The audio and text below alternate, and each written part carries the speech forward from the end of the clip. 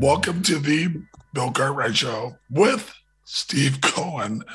Our special guest today is USF alum Kent Bennett. Kent, welcome Morning. to the show. Kent, let's talk about this. Um, you played a little bit after me. Seems like a lot longer after me, but just a little bit after me. Uh, talk a little bit about where you grew up and talk about uh, your mom and dad. Well, I grew up, I was born in Belize. A lot of people don't know that. But I was born in Belize and I came to the US when I was three years old. And I was raised in um, South Central LA, about two blocks from USC.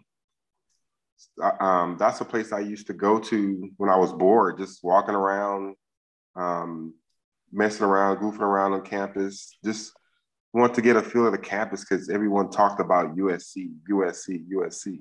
Yeah. So I grew up around there. My mom and dad are um, were hardworking parents. My dad, you know, you see him, you don't see him in the morning because he leaves before it gets, you know, light comes up, before sunrise, and then you don't see him until it's dark.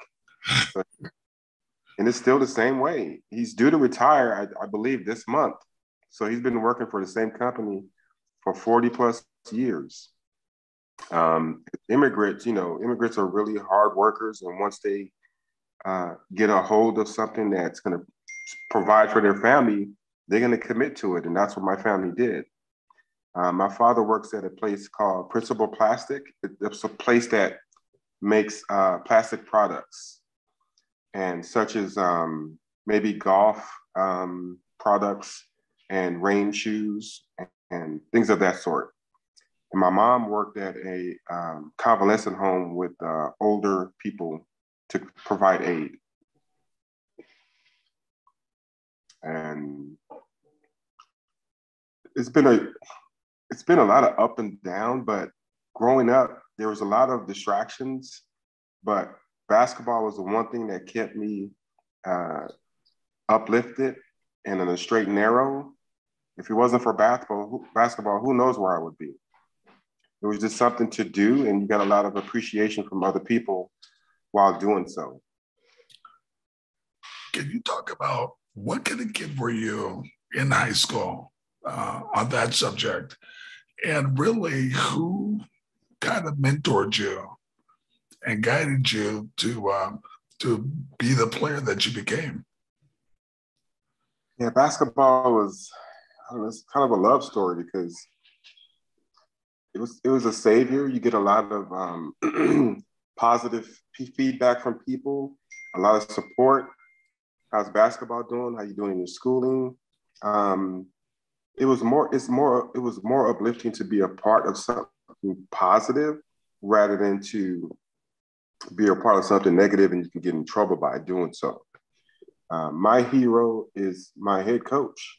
Um, my head coach is a very familiar person in the neighborhood. His name is Reggie Morris. We won a state championship back in um, 88. And that's in California. So we had to come up north to beat uh, Bishop O'Dowd, you know, at the Oakland Coliseum. And that was a Wow. very exciting time back then. Uh, but he just he just taught us work ethic paid off. Don't cut corners. Show up on time.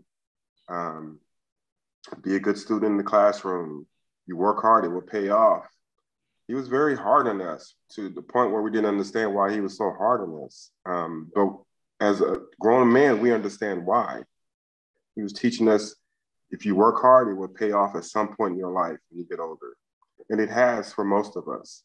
Um, you know, uh, having us doing from suicides to uh, practicing after games if you felt we didn't play hard that game. Um, it all it all comes back to gratuity once you think about it and you get older. Um, he's a champion. I still talk to him to this day. We played golf together last February, and now that he's retired, he he DJs on Sundays on YouTube just for fun. Um, but he is my hero. He will ever forever be my hero, and I love him to death. Awesome.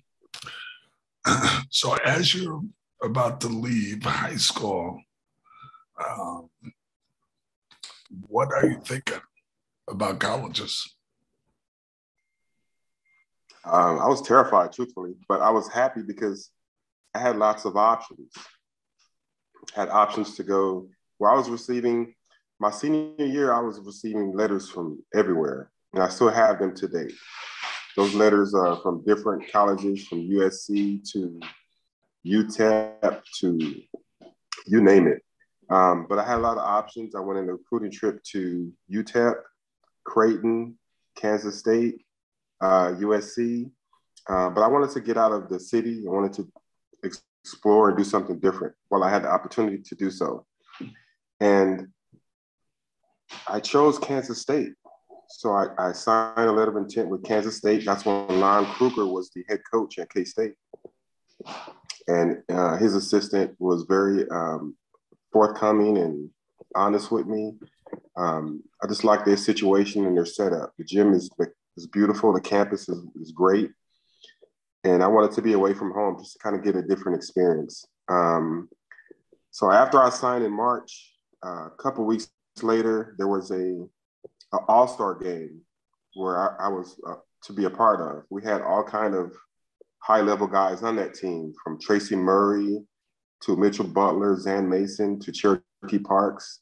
It was an amazing uh, group of Southern California guys that was on that team.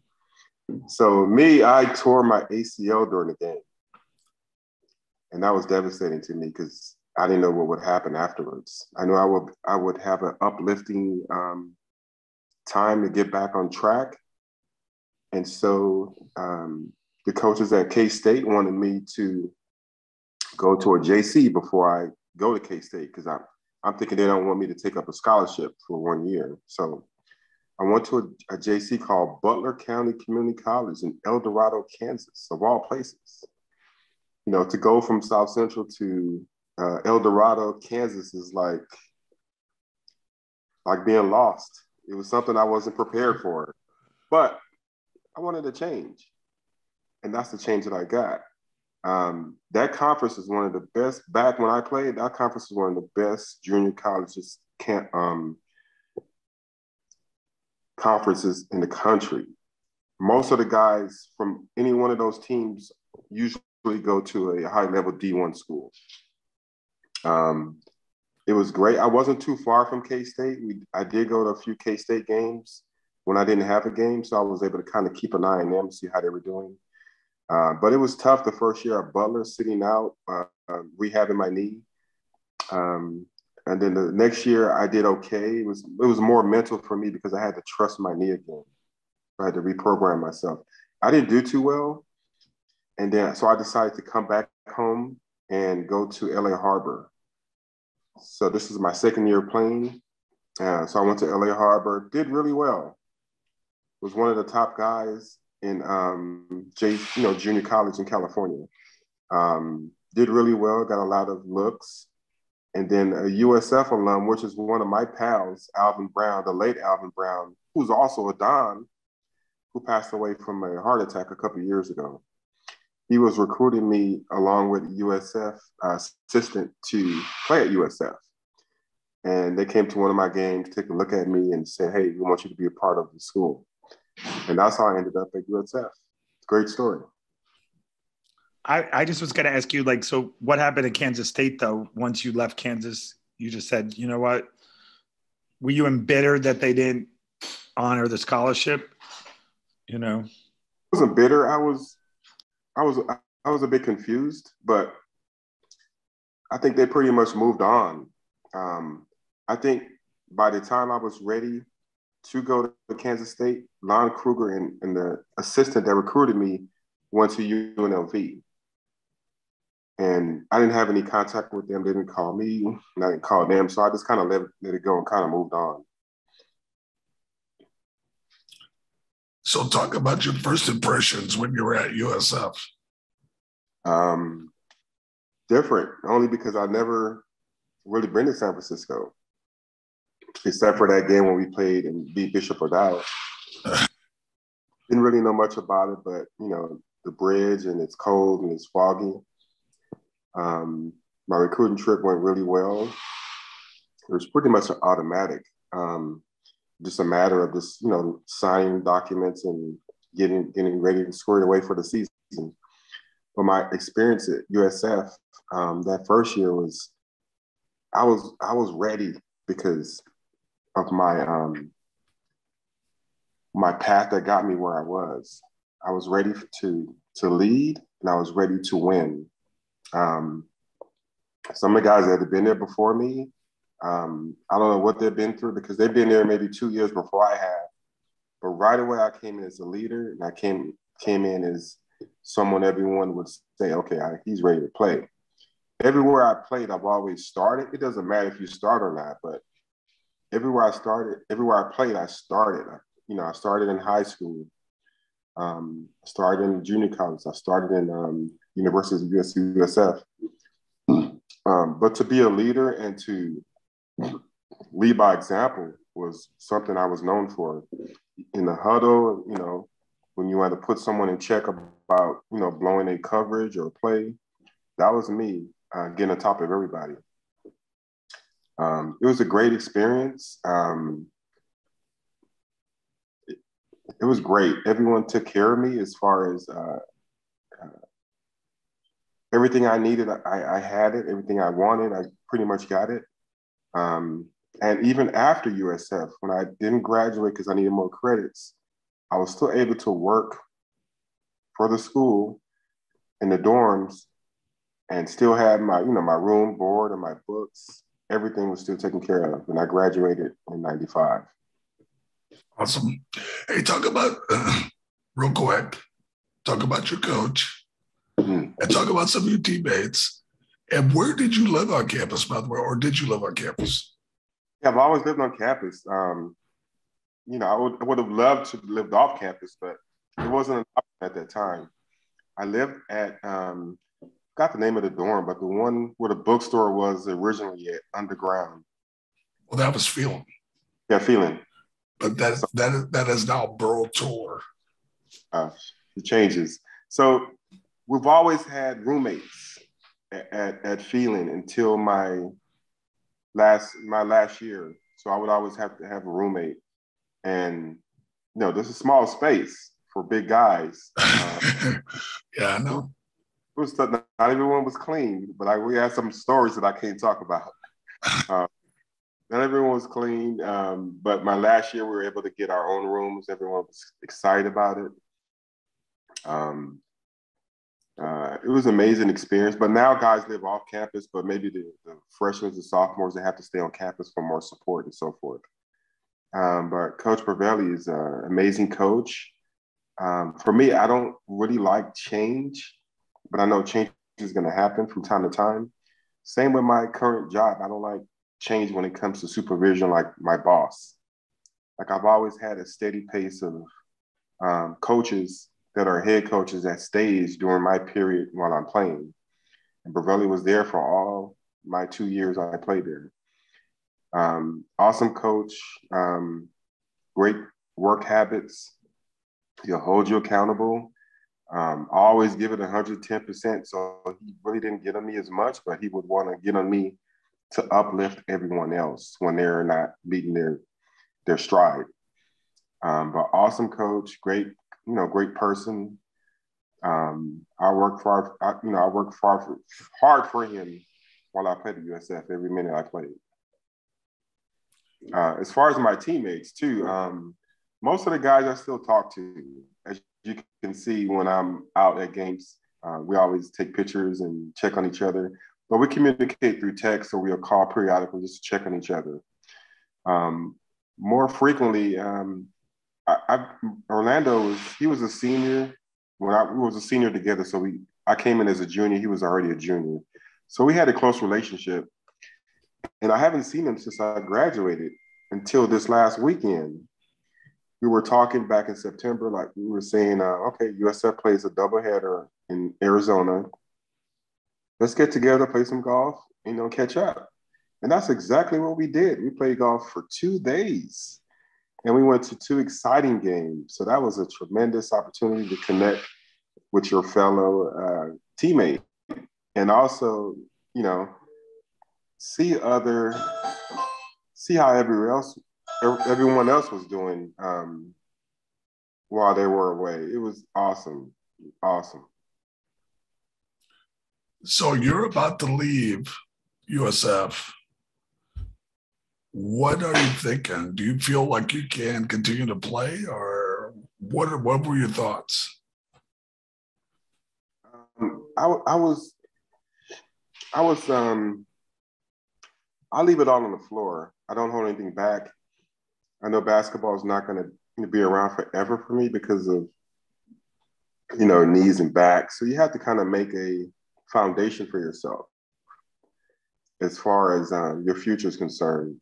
I didn't want to play around and go overseas and waste years playing and not have that um, stability when it comes to work. Uh, I was terrified. I didn't know what the hell I was going to do. Even had a degree in my back pocket, you still have to figure out what you wanted to do. So, you know, I went home, kind of wasted maybe like three or four months, and then I um I worked for a temporary agency for a year and a half. They had me do different assignments. Uh, I used to catch the bus downtown. Then I finally saved enough to get a car. And then I worked for a um, a place called St. Anne's. It's where pregnant teens go um, when they need somewhere to stay, kind of like a group home. So I did that for two and a half years, and then I got a job with the county of LA, and that was very exciting. And that's where I'm at today. So it's going on 23 years this February. Uh, working as a gov- working for the government as a supervising children's social worker. Stevie, you want to jump in there? I think that's amazing. No, I and and so you got a degree in social work, Kent. And what motivated you to, you know, to to pursue this field? And what were some of the what are some of the most rewarding things about working in that area? Actually, sociology. Um, got a degree in sociology. Well, I, I kind of see the mannerism of my my mom. She she used to like helping people, um, so I wanted to do that also. I wanted to um, be someone in the middle to mitigate and find solutions to problems when it comes to child welfare, when it comes to family, the family dynamic. Not every family is perfect.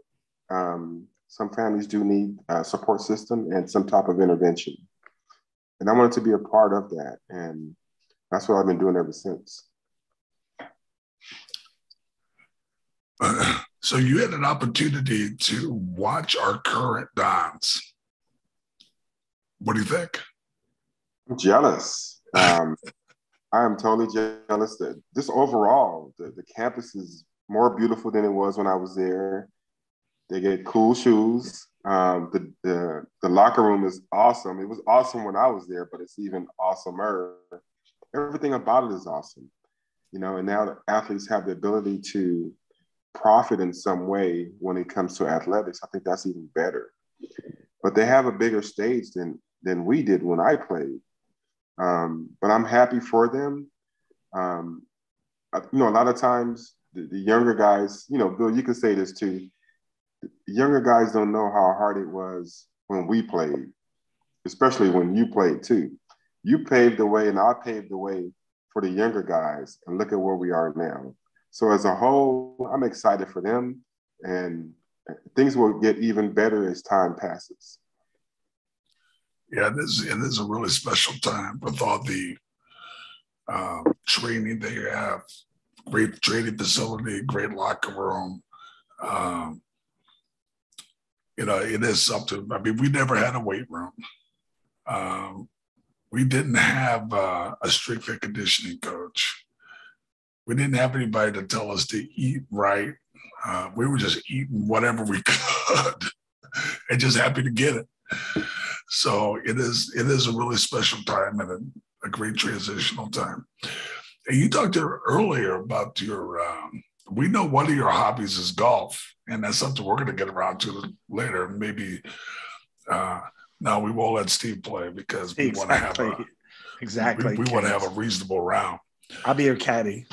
But uh, um, is that is that your uh, is that your main hobby? What you really like? Yeah, that and I like I like I like building. I like framing. uh, when it comes to wood, you know, two by fours and so forth. Um, so during the pandemic, I built a shed in my backyard. Building, wow. Of that. That's talent. Um, yeah, so I plan to build a, a, office in the backyard, maybe a 10 by 10, 10 by 10 by 15 office in the backyard, hopefully soon. But that's something I, I really like doing. You know, getting the framing nail and pop, pop, pop, pop, pop. Wow. I could not be trusted, and Steve definitely not, to be able to do something like that. Definitely not me. Yeah. That's um that that is a real talent. Now, where does that come from? Um nowhere. It's just something I, I, I see and I like it.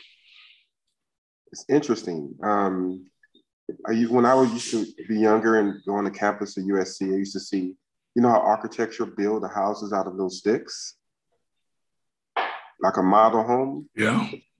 Used to like that. That's what kind of drove me to like to build. Interesting. So, uh, talk about your family a little bit. My, my family dynamics consist of my, my wife, um, two daughters, two sons. Um, we've been together for 20 years now. Um, um, two of my daughters are in college right now. One is 18, one is uh, 21 years old. Uh, my oldest daughter wants to work in the computer field, and my youngest daughter's um, more interested in real estate or nursing. So she's kind of undecided right now. And my two older boys are working right now. Now, do any of your kids play sports? Oh, not even a, a second. No sports. Wow, interesting. That That's is really interesting.